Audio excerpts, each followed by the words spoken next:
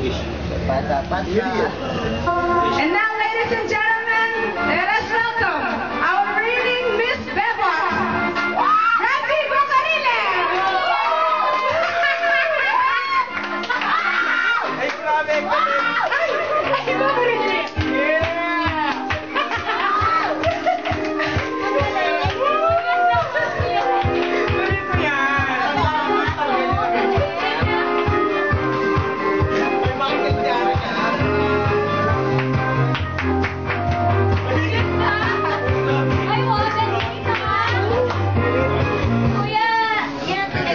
I'm so happy.